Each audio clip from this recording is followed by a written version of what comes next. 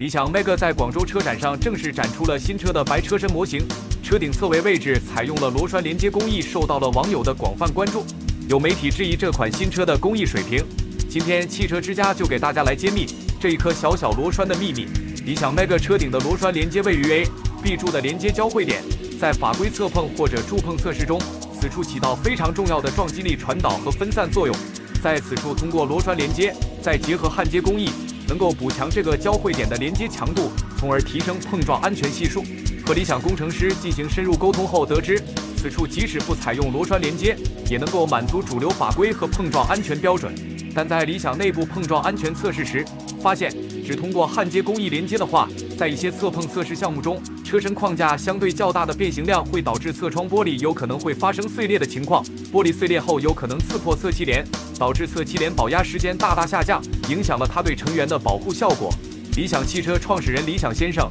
对于侧碰碎玻璃的事极为关注，要求工程师采取优化措施，保证在侧碰事故中侧窗玻璃不能碎裂，提升安全系数。